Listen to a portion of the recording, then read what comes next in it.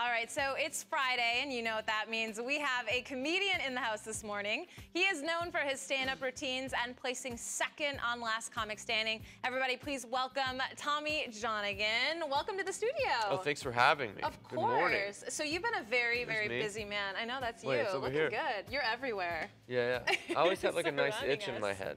Do you? Oh no, I think that looks It's a well-timed itch. All right, so tell us, Comedy Central. Uh, that's pretty I big. just did a special on Comedy Central, and now I'm in Orlando, All right. which is when I got into stand-up, I I just wanted to play Orlando. Did you? That was the dream. Yeah, yeah. I was like, Orlando in July. How do I get there? And then someone was like, you have to get a special on Comedy Central. And That's I said, well, I'll do do that. I will do that. Amazing. Uh, something I think is, is even awesome is you were just on David Letterman. Tell us about that experience. Um, I love doing it. I've done it. It was, uh, it was the seventh time I've done it, so I was really Wow. excited to do that. You're an old, old it's, pro now. Yeah, it, it starts to get a little harder now because I have to leave. My, I have a daughter at home, so I have to leave my baby for a few extra days. Okay. How My old is your daughter? We have two. She's almost two. Okay. 22, 22 months. I don't know when Do- you stop saying that. Does, does she get that you're funny? Does she laugh at any of your jokes yet? Oh, she's great. Yeah, yeah, I mean, she's two, so I mean, if, if she's laughing at my jokes, then I'm probably not going to be in a job. Probably going to have a job for a while. We're- my girlfriend and I have been trying to have a second baby for Okay. three months. I found out on Saturday, so it's like real. It's real good. That means Isn't she that sprung it on me. She- she she's did. just ovulating, and then I didn't know what was you know happening. what most men say though? They love practicing, right? There's nothing wrong Yeah, with that. Yeah, no, you take you take the fun out of it when you start trying.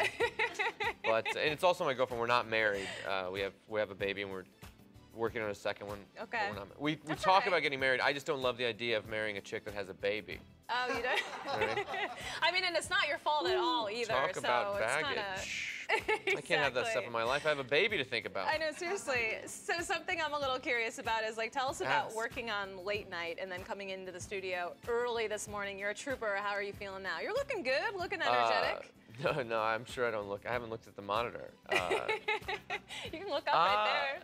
No, no, See that's it? that's No, not what great. people look like in the morning. Um, they tape late night in the afternoon, so this is like just an adjustment of whatever how many ever hours. I don't know. This is too early. This is crazy. It, it is early, but we love I don't know it. who's watching this, but the you know this is this is really early. You got to change your life.